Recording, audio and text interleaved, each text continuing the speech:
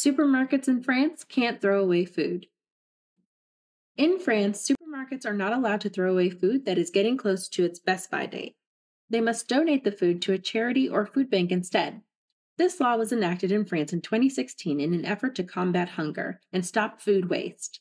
The majority of the food is given to underprivileged families. This is not only fantastic for those who could use the food, but for the environment as well. Why doesn't everyone do this? The full video for this content can be accessed at the Reverie Media's YouTube channel. We hope to see you there.